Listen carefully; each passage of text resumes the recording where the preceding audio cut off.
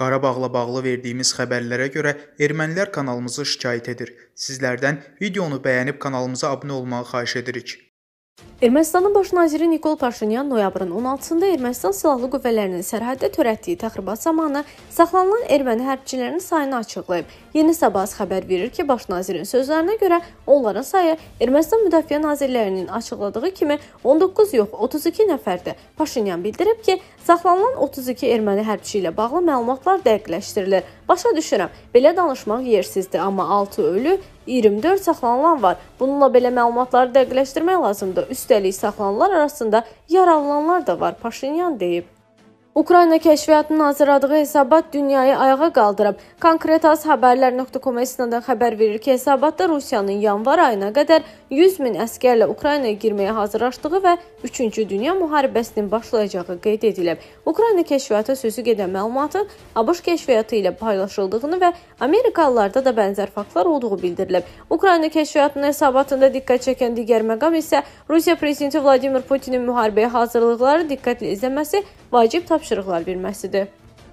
Azərbaycanın qələbəsi ilə başa çatan 44 günlük müharibədən ötən 1 il müddətində Zəngəzur dəhlizinin açılması gündəmdə olub. Bu məsələ rəsmi Bakı tərəfindən israrlı şəkildə gündəmə gətirilir və hazırki proseslər də onun reallaşacağını göstərir. Çünki regionda hərbi siyasi vəziyyətə ciddi təsir imkanları olan Rusiya və Azərbaycanın eyni zamanda onun strateji müttəfiqi Türkiyənin bu məsələdə mövqeyi üst-üstə düşür. Dəhlizin çəkiləcəyi ərazilərin sahibi olan Ermənistan da uzun çəkən tərəddüddən sonra dəmir yolu və avtomagistralın çəkilməsinə razılaşıb. Bunu baş nazir Nikol Paşinyan MDB dövlət başçılarının sonuncu zirvə görüşündə çıxış edərkən deyib. Zəngəzur dəhlizi nəyə ehtiva edir? Zəngəzur dəhlizi Azərbaycanın böyük hissəsini Naxçıvan Muxtar Respublikası ilə əlaqələndirəcək. Eyni zamanda Naxçıvan üzərindən Türkiyə ilə birbaşa dəmir yolu və avtomobil yolu ilə əlaqə qurulacaq. Xatırladaq ki, Qarabağ münaqişəsindən əvvəl bu dəhliz istifadə olunub, amma münaqişə başlanandan sonra Azərbaycanın Naxçıvanla quru əlaqəsi ancaq İran ərazisindən keçməli olub. Dəhlizin çəkilməsinin hüquqi və siyasi əsası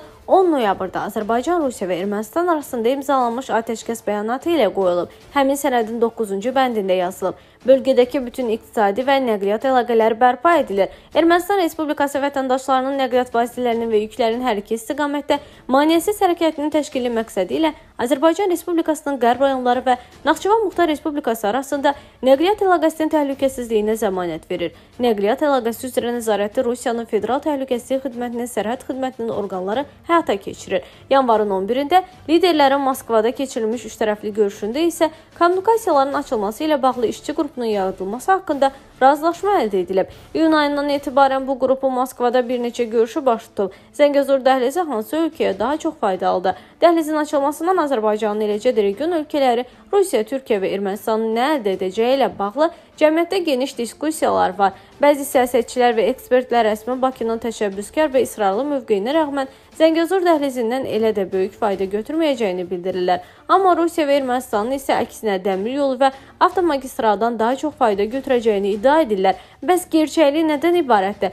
Azərbaycanın və digər iştirakçı ölkələrin mənfəəti necə formalaşacaq? Qüdrət Həsənquliyev dəhlizin açılması Rusiya və Ermənistana daha çox xeyirdir. Fazil Mustafa açıqlayıb ki, Zəngəzur dəhlizi transmilli kommunikasiyadır. Bu həm açılım, həm maliyyə, həm də Türkiyə ilə birləşmək baxımından həyati əhəmiyyət daşıyır.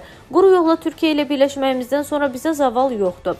Tofiq Zülfüqarov qeyd edir. Zəngəzur dəhlizi işlək vəziyyətə gətirilsə, deməli Sovetlər vaxtı mövcud olan vəziyyət bərpa olunacaq. Yəni SSR dəmir yolları indiki halda Azərbaycan-Rusiya dəmir yolları deməkdir. İranın birbaşa Naxçıvanın Culfar rayonu vasitəsilə bu dəmir yollarına bağlantısı olacaq. Bu dəhliz artıq mövcud və işlək vəziyyətə gətiriləcək. Belə olan təqdirdə ruslar nə dərəcə maraqlı ola bilərlər ki, Fars körfəzindən keçən mallar Ermənistan ərazisindən keçib Gürcüstana gəlməli, bundan sonra şimala qalxmalıdır. Sizcə ruslar buna icazə və razılıq verərmi? Onu da unutmayın ki, dediyiniz xəttdə yalnız avtomobil yolu var, dəmir yolu ümumiyyətlə mövcud deyil. Bu baxımdan ermənilər çalışırlar ki, bizim gördüyümüz işlərin təkrarını etsinlər. Amma biz bu işləri çoxdan görmüşük. Hazırda şərq-qərb dəhlizinin bir hissəsi bizdən keçir və şimal-cənub dəhlizi də bizi öz tərəfimizə çəkə bilmişik. Ermənilər hələ indi ayılıblar və hansısa böyük nəqliyyat layihəsi barədə danışırlar. Halbuki bu mümkün olan iş deyil. Fərhad Məmmədov, biz nəyi Gürcüstan vasitəsilə daşıya bilmirdik ki, indi Zəngəzur dəhlizi vasitəsilə daşıya biləcəyik. Azərbaycan hər zaman bildirir ki, Araz boyu dəmir yolu və avtomobil yolunun çəkilməsi prioritetdir.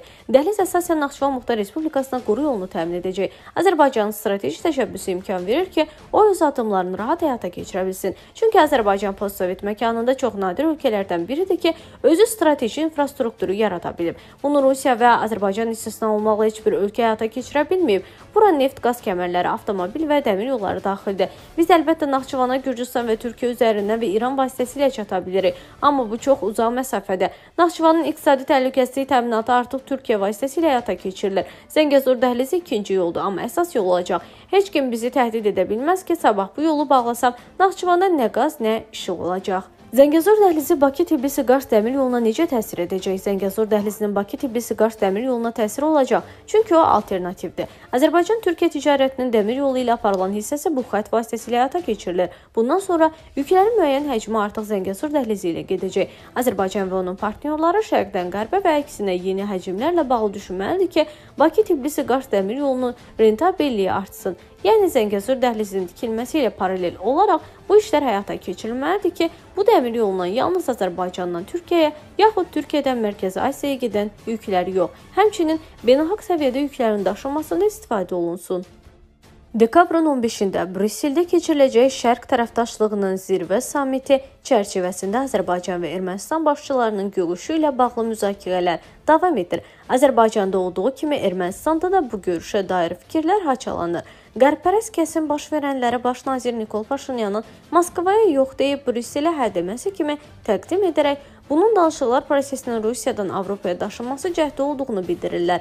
Daha neytral və müstəqil politoloqlar isə bununla razılaşmır və Brüssel görüşünə heç də optimist yanaşmırlar. Onun hər hansı ciddi nəticə verəcəyinə də inanmırlar. Azpolitika info xəbər verir ki, mövzu ilə bağlı erməni mətbuatına danışan politoloq Benjamin Pogosyan Brüssel görüşünü növbətçi görüş adlandırıb. Xatırladaq ki, hələ noyabrın 7-sində Kreml sözçüsü Dmitri Peskov video konfrans formasında üç tərəfli görüşün baş tutacağının anonsunu versə də heç bir görüş baş vermədi. Noyabrın 19-da isə Rusiya Xarici İşlər Nazirliyi rəhbəri Sergey Lavrov görüşün baş tutacağını, lakin bunun üçün konsensusun lazım olduğunu demişdi. Nəhayət dünən erməni mediası və Telegram kanalları noyabrın 26-sında Soçidə üç tərəfli görüşün olacağı barədə məlumat yaydı. Bu gün isə Rusiya mediası Kreml istinadla bu məlumatı təsdiq etdi. Bütün bunların fonunda məhz Brüsseldə iki tərəfli görüşün keçirilməsi Pagosyanın da dediyi kimi bir çoxları tərəfindən danışıqlar prosesinin alternativ müstəviyə platformaya daşınması cəhdi kimi qəbul olunmağa başladı.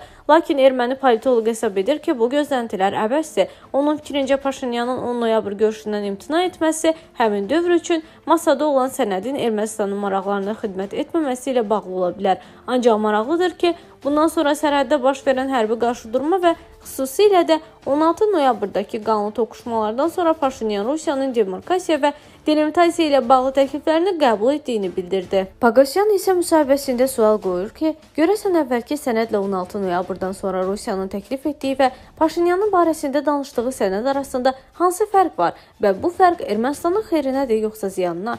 Ekspert hesab edir ki, ən vacib sual budur. Bununla yanaşı, sənədin mahiyyətindən asılı olmayaraq onun məhz Brüsseldə imzalanacağı inandırıcı deyil.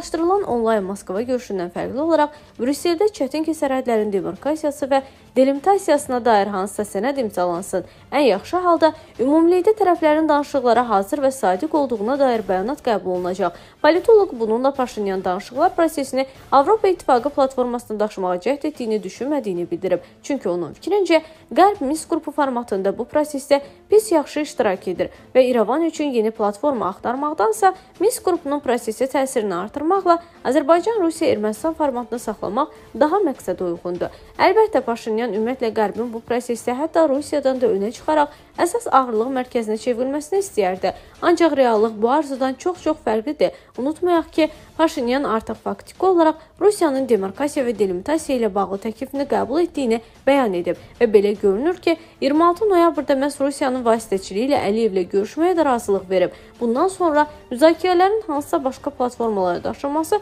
öz mənasını itirir. Nəhayət Brüssel samiti ilə bağlı pessimist proqnozları yekunlaşdıran erməni politoloq deyib: Azərbaycan-Ermənistan sərhədində rəsmi İrəvanın 16 noyabrda törətdiyi təxribatdan sonra ermənilər Sünikin Anabat kəndinə qədər geri çəkiliblər. Yeni Sabahız erməni mediasına istinadən xəbər verir ki, bu barədə Ermənistanın Jam qəzetinə kəndin sakinləri məlumat verib. Kənd sakinlərinin dediklərinə görə Azərbaycan ordusu kəndin çox yaxınlığında qərarlaşıb. Onlar bildirib ki, Azərbaycan əsas yollardan birinin nəzarəti tam ələ keçirib. İndi isə Azərbaycan ordusu onlar üçün həyati əhəmiyyət kəsb edən yolun üzərində post qurub.